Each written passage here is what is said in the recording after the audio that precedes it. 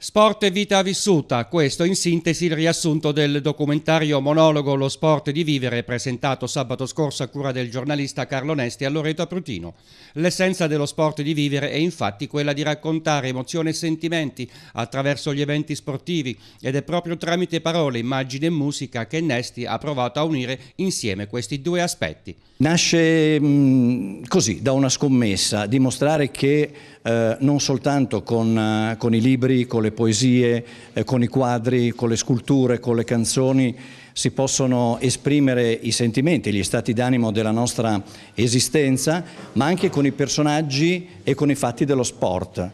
L'occasione è stata anche il portare a Loreto Aprutino, dove hanno raccontato la loro esperienza i ragazzi dello spogliatoio della Juventus degli anni 70, da Luciano Miani a Dario Tosetti, da Beppi Pillon a Massimo Briaschi a Paolo Bordoni e altri ancora. Il tutto ha avuto origine dalla pallone di pezza, ideato dai bambini della scuola primaria di Loreto Aprutino ed esposto a Torino al log di Alessandro Del Piero, dove Renato Mariotti lo ha portato insieme ad altri oggetti del calcio del passato. È un progetto che parte già da alcuni anni ehm, in quanto eh, io come rappresentante della locale squadra di calcio, la SD Laureto, come Luciano Miane come rappresentante del River 65,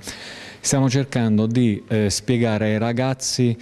quello che è il vero calcio, perché il vero calcio non è quello che i bambini purtroppo oggi sono abituati a vedere in televisione, a guardare in televisione. Una manifestazione questa fortemente voluta dal sindaco di Loreto Prutino Gabriele Starinieri e dalla sua amministrazione. Tutto è partito da eh, qualcosa che nasce a scuola e che va a riguardare eh, lo sport come eh, scuola di vita e quindi i valori delle relazioni umane nello spogliatoio. Sono presenti eh, tantissimi eh, ragazzi, bambini che eh, frequentano tutti diciamo, i settori giovanili di ogni sport.